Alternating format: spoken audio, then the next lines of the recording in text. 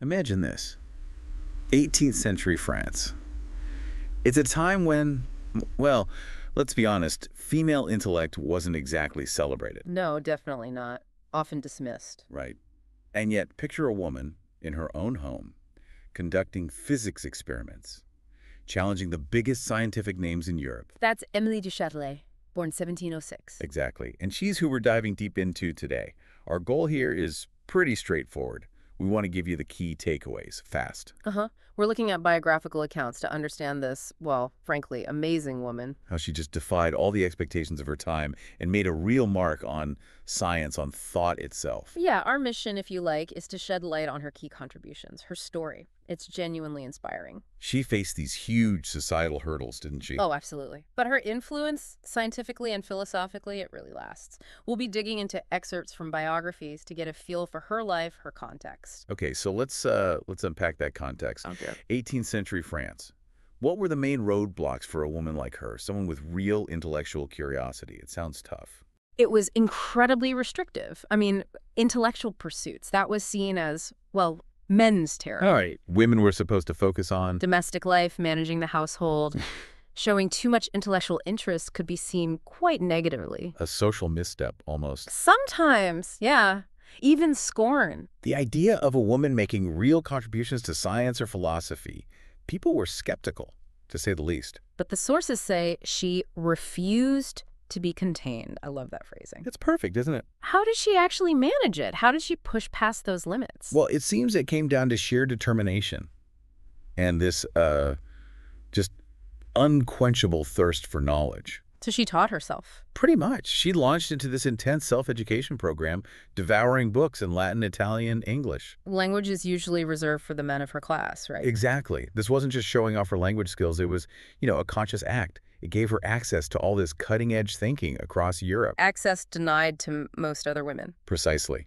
And she wasn't just reading alone in a corner. No. No, she actively got involved. She debated with the leading thinkers of the day. She even turned her salons, you know, these social gatherings, Uh-huh. into intellectual hotspots, places for real debate. That's bold. Transforming social spaces into intellectual ones. Very bold for the time. Okay, so let's talk about a really key part of her scientific work. The vis viva debate. Sounds intense. It was a major scientific argument, yeah.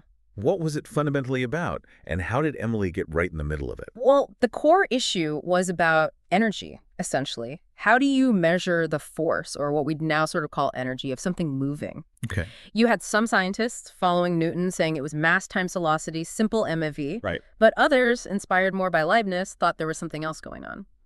Emily looked at Newton's ideas and saw they didn't quite explain everything, certain physical events. And she didn't just argue about it theoretically, did she? I read about experiments. Lead balls, Clay. Yes. That's what's so great. She wasn't just about the philosophy, she believed in testing things, empirical evidence. So she literally got her hands dirty. You can picture it, can't you? Sleeves rolled up, maybe. She designed experiments, dropping lead balls into clay. To measure what exactly? The impact, how deep the ball went.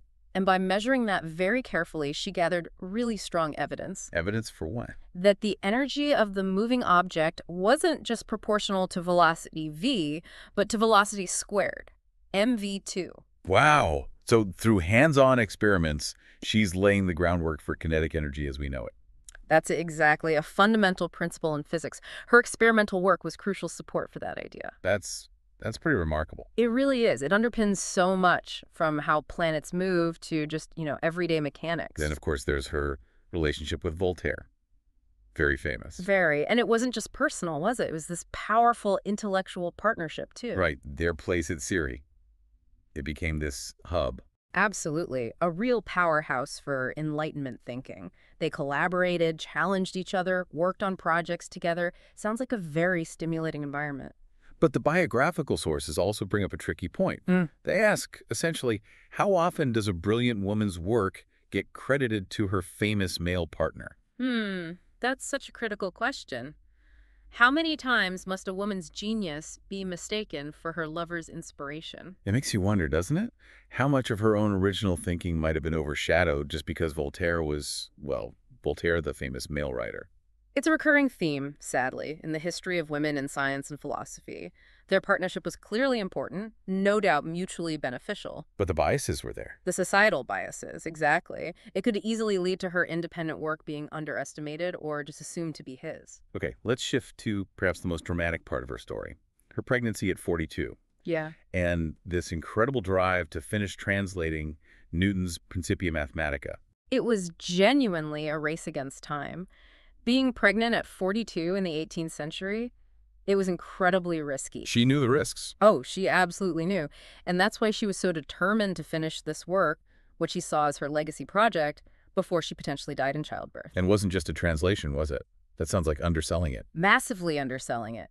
Translating Newton's Latin Principia was a huge task in itself, but she did much more. Like what? She clarified his arguments, which could be really dense. She actually found and corrected some errors in Newton's original work. Wow, correcting Newton. Yes, and she added this extensive commentary expanding on his ideas with her own insights. She was making it accessible, yes, but also advancing the understanding of it. That's a massive intellectual undertaking. Monumental. And the accounts picture her just working relentlessly in those final months. Day and night, apparently. Utterly focused. And she finished the manuscript just days before the baby was born. Mere days. And then, tragically, died from complications shortly after the birth. It just speaks volumes about her dedication, Yeah. her understanding of how important that work was. Absolutely. Her commitment to knowledge was just unwavering. And her translation, it's still the standard French edition of the Principia today. Incredible. A lasting testament. No question. Which makes it even more frustrating to hear how, initially at least, her own achievements were kind of sidelined, Hmm. dismissed as a dilettante, Hmm. just because she was associated with Voltaire. It really shows the depth of the prejudice back then. Her link to Voltaire, while obviously a huge part of her life, gave people an easy excuse, didn't it? Yeah, a way to diminish her own work. Dilettante was such a common put down for women who dared to step outside those very narrow, prescribed roles. But history seems to be correcting that now. The sources stress her impact is undeniable, especially with the Principia. Undeniable. And they mention another major work, too, Institution de Physique. What was that about? Ah, yes, Institutions de Physique. That was also hugely important. It wasn't just a physics textbook. Oh. It dug into really fundamental philosophical questions. What is knowledge? What is space? Time. It stirred up a lot of debate. So she was a serious philosopher of science, too. Definitely. She established herself as an original thinker in that field, pushing the boundaries of what people were thinking about. It's good to see she's getting more recognition now, though. Yeah. I saw mentions of a crater on Venus named after her. Yes. And a minor planet, various awards, institutes, even a Google Doodle a few years back. That's great. Feels like a, well, a long overdue appreciation. It's a positive shift, for sure. These honors reflect a better understanding of just how significant her contributions were across different fields. But as the biographical sources say, maybe her real legacy isn't just the science or the translation. Right. It's that intellectual courage, the courage to question everything, to push boundaries, to pursue knowledge relentlessly despite the obstacles. So as we kind of wrap up our deep dive here, what are the big takeaways? What can we learn from Emily du Châtelet's life today? I think maybe the biggest one is understanding what we lose when talent gets stifled. Think about it if Emily had just accepted the limits society tried to put on her. We wouldn't have her insights into physics or philosophical work, that crucial translation. Exactly. The world would be poorer for it. Her life really pushes us to look at ourselves, doesn't it? How so? Well, it makes you ask, what boundaries are we accepting without questioning them? Are they external or maybe internal? Hmm.